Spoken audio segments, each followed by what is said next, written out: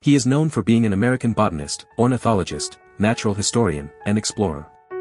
He is recognized for his acclaimed book, Bartram's Travels, which documented his explorations of the southern British colonies in North America. He is William Bartram. In the annals of American history, there are individuals whose passion for exploration and natural history have forever shaped our understanding of the world. William Bartram was one such visionary, a prominent American botanist, ornithologist, natural historian, and explorer. Born in 1739, Bartram's expeditions in the southern British colonies of North America from 1773 to 1777 would leave an indelible mark on the field of natural sciences. During his journeys, Bartram meticulously documented his explorations in an acclaimed book known as Bartram's Travels. This seminal work chronicled his remarkable discoveries and encounters with the rich flora and fauna of the region.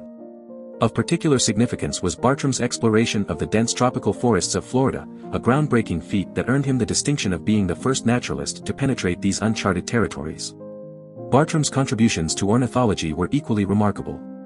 At the young age of 17, he collected the type specimens of 14 American bird species, which were later illustrated and described by renowned English naturalist George Edwards in his work, Gleanings of Natural History.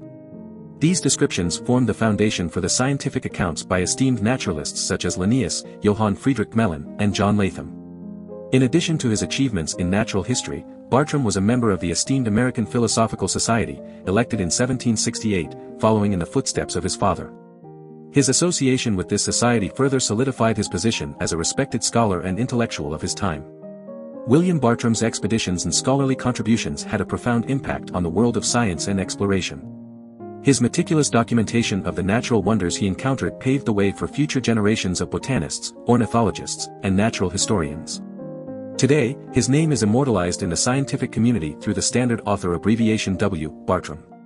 As we reflect upon the legacy of William Bartram, we are reminded of a man who fearlessly ventured into uncharted territories, unraveling the mysteries of the natural world. His pioneering spirit and dedication to scientific exploration continue to inspire and enlighten those who follow in his footsteps. In Kingsessing, Philadelphia, Pennsylvania, young William Bartram grew up in a household filled with nature and exploration. As the son of renowned naturalist John Bartram, he was exposed to the wonders of the natural world from an early age. Accompanying his father on various expeditions, William's passion for botany and ornithology blossomed. His artistic talent shone through in his meticulous drawings of plants and birds, capturing their beauty and intricacies. Even as a teenager, he played a significant role in maintaining his father's botanic garden, introducing rare species and expanding its collection. His dedication to his craft was evident as he diligently documented his observations. In a letter dated May 30, 1756, John Bartram expressed his gratitude to the English naturalist Peter Collinson for the drawing paper he had provided for William. He shared how William had been occupied with his artistic pursuits, drawing numerous rare birds and preserving them as specimens to send to his friend Edwards.